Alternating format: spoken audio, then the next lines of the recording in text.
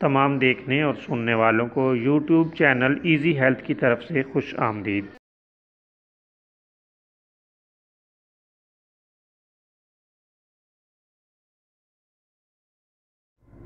दोस्तों, आज जो वीडियो हम आपकी खिदमत में पेश कर रहे हैं, इसमें आपको संतरे का शरबत बनाकर महफूज करने का तरीका बताएँगे। दोस्तों, हमारे इसी चैनल पर संतरे के शरबत की दो और वीडियोस भी मौजूद हैं। आज एक और नुस्खा आपकी खिदमत में पेश कर रहे हैं। ताकि आप मुख्तलिफ़ तरीक़ों से संतरे का शरबत बनाकर महफूज करने के तरीके सीख लें। दोस्तों, संतरे का जूस निकाल लें।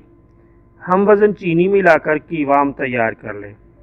जब तैयार हो जाए तो अर के गुलाब डाल दें 20 से 40 मिलीलीटर पानी में डालकर पी लें।